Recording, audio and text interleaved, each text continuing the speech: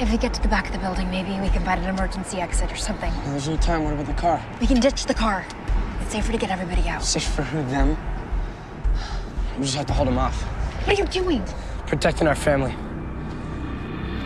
Wait, that's one of the Struckers. Hands in the air!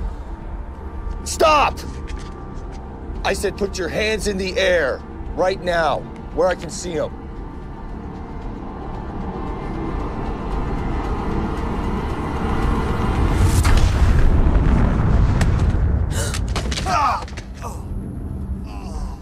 Leave our family alone. Andy, stop! They're hurt! They still have guns. Andy, stop! What the hell?